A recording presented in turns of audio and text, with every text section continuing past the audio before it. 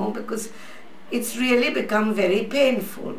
And sitting in an auto, when uh, I have to get down, I have to move this other leg with that with a hand, my right leg. And the whole right side it gets sort of frozen with pain. It's very, very painful. So, but whatever you did yesterday was like magic.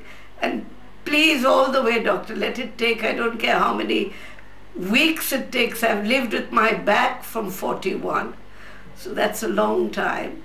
And now this with this uh, shoulder for the frozen shoulder for eight years. Today I'll be doing now special treatment for your shoulder. Then we'll do again recording that your hand will be totally free to take it up and all. That Yes. frozen shoulder will be totally free. Okay, that also Yes. will do Because recording. it's so painful and one has to put on a bra and take it off. Now I have done use some special treatment for your shoulder. How you felt after this treatment? I don't know, doctor. It's just like magic. I, you, you saw how I couldn't put it up straight. Mm. I can put it up straight now.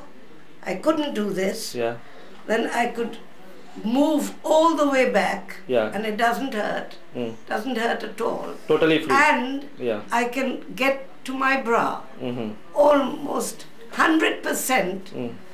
very little, very little soreness. Yeah. It's not pain, it's soreness. It really is absolute magic. And those pins that you put into me, Yeah. they look frightening, but the, the ones in my ear, I don't even know I have them. Yeah.